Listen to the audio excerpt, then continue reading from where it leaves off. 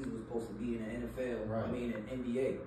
I mean, I had that same dream of wanting to be in the NFL too, Right. but being a leader of a crew called Newburgh, you know, Newburgh was a big thing, you know what I'm saying? So being a crew called Newburgh, and being a leader of a crew called Newburgh, I couldn't really do what I wanted to do. I had one foot in, one foot out. I was playing football, but right after I take that equipment off, my parents didn't even know I was going to, you know, do what I had to do with my niggas, you know what I'm saying? So Marcy's, he was in the streets with us, but I'm gonna tell how I started with Marcy's, man. I stayed on St. Joseph, man. And that was one of our headquarters. Now, how y'all know how 315 was the headquarters for the Right. our older generation? My headquarters, our headquarters was St. Joseph Right. at the corner. My mom let us come over and do whatever we want. Girls, you know, we running the train. Like we talk about running trains, I'm gonna talk about running trains.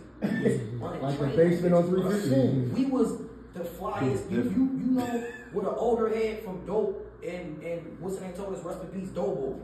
He said, "Yo, y'all know you know that song by Az and what's the name? The Flyest Gangsters." He said, Right. "That's y'all." Me and my man fact. Snoop, we Nah, ran that's with we it. ran with it. We was Yeah. fly gangsters, bro. You know what I'm saying? Right. All the girls wanted to Right. come around, then be around us, and we, we did that. So what it started with Marcy's was when, when we was coming out the house on, on St. Joseph doing what we was doing, Marcy's would go to the Boys and Girls Club on Oak Street, bro. Ball player talk You know what I'm saying? And one day he was just in there, he was in there shooting, he was a shooting, he was shooting.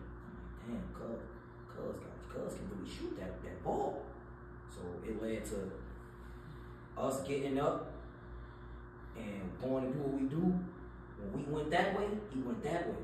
You know what I'm saying? He went a whole nother route. And guess what I used to say? Damn, cuz, you suck, man. You ain't, you ain't, you ain't with it no more. You know what I'm saying? But he was always with it, but he just had something different. You feel what I'm saying? He just had something different. His vision was different. He wanted to hoop. Then everybody knows GC Ballers. Come on, bro. GC Ballers, a basketball was like wanting to play with Aaron Sevier and Vex back in the days. You know what I'm saying? Once he got introduced to GC Ballers, it was over. Mario C's on GC Ballers.